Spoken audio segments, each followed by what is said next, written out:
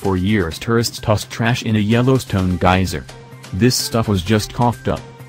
A surprising geyser eruption in Yellowstone National Park coughed up some surprising objects that had been tossed into it over the decades.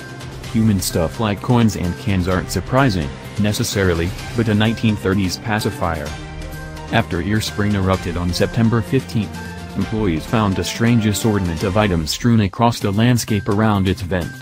Some are clearly historic, they'll be inventoried by curators and may end up in Yellowstone's archives, park officials said on their Facebook page.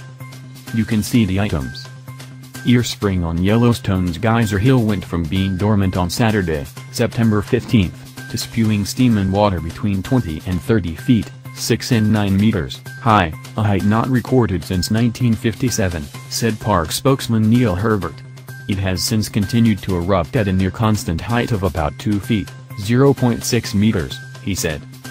Ear Spring, named for its resemblance to the shape of a human ear, is one of dozens of geysers, pools and hot springs in Yellowstone's Upper Geyser Basin, among the park's top attractions that feature the popular Old Faithful.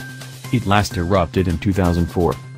Oh and you're not supposed to toss stuff into the geysers, even though it might be fun to imagine the item coughed out 50 years from now.